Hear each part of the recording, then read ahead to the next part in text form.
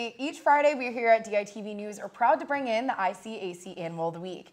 This is reserved for that one special animal at the Animal Care and Adoption Center who is ready to meet their new family. This week, we brought in a newcomer to the Adoption Center, a precious Pitbull mix, Rocket Dog. Rocket Dog is about six years old and she's the spitting image of a pit bull. However, as a mix, Rocket Dog is just a bit smaller than a purebred pit bull. Families looking to adopt Rocket Dog should know that she has a few allergies and requires medicine.